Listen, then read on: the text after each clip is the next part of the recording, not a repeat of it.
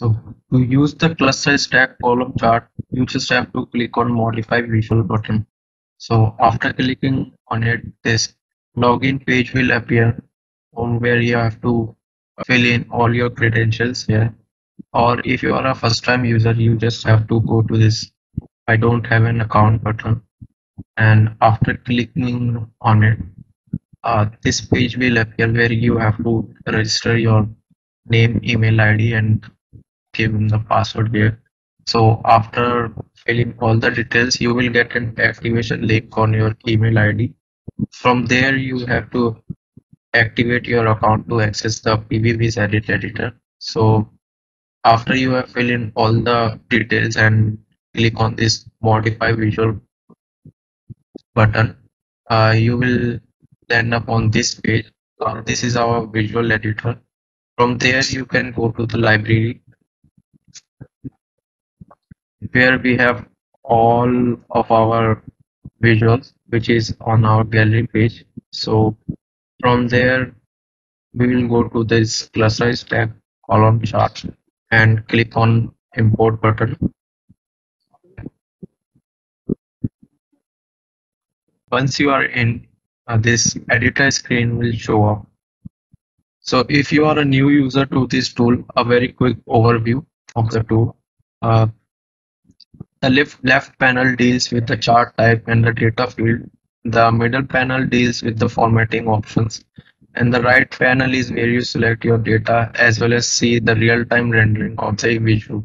Just by clicking on this visual button, you can see the real-time rendering of the visual. One thing to notice, the data used here is just a sample data.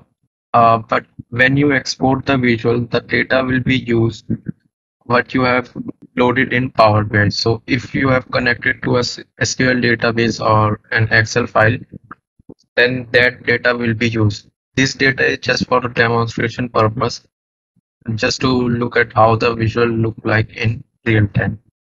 Now at the top of the editor, you will have this switch between dashboards button where you can select different dashboards.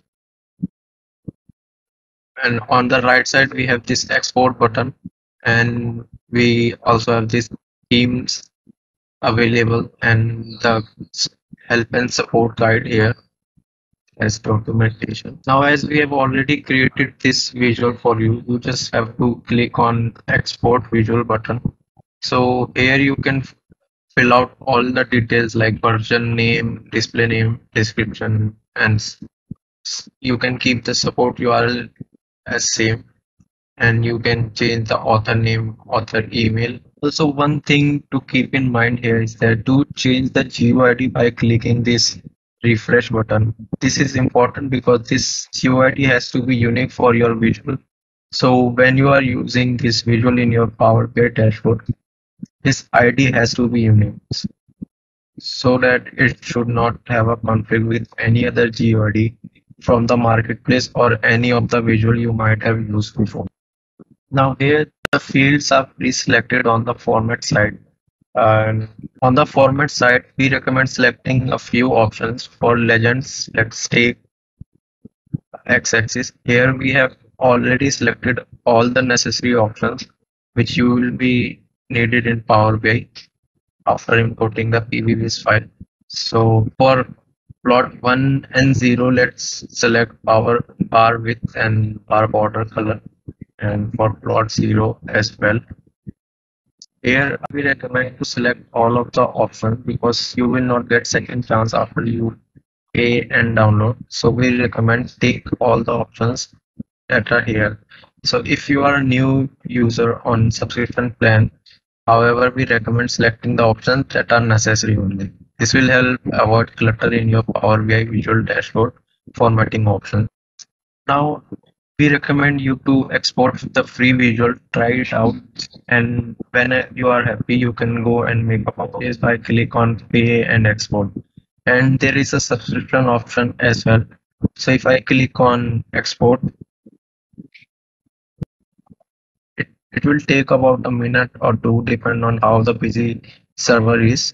So in a minute or two you will get a prompt that your visual has been downloaded Once the visual is ready, it will be downloaded in download folder or other alternative folder you have chosen in your local desktop.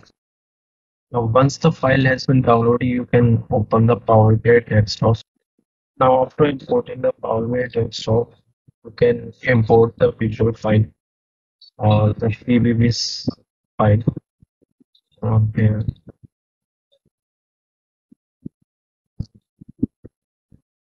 Now, after importing the visual file, you can see that this icon will appear here. So just click in, click on this icon and you can have this visual, this expand data bit and fill in the data here, like categorical data on x-axis and some numerical values such as this current sales on y-axis one and we can have previous sales value on y-axis 2 and legend on the on and promotion type on the legend.